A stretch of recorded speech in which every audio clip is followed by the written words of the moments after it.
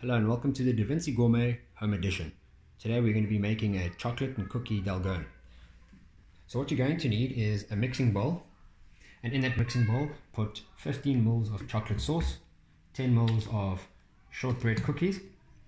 Then we're going to add 2 tablespoons of coffee, 2 tablespoons of sugar, 2 tablespoons of water.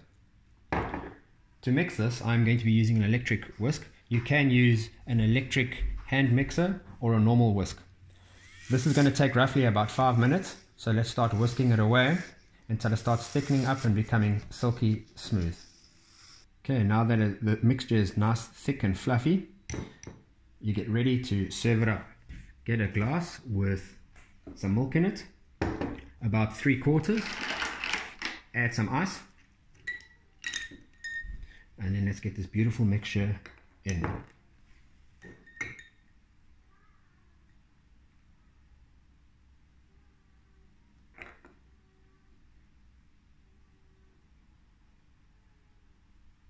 Okay. Okay, and there you go. A chocolate cookie dalgona. Enjoy.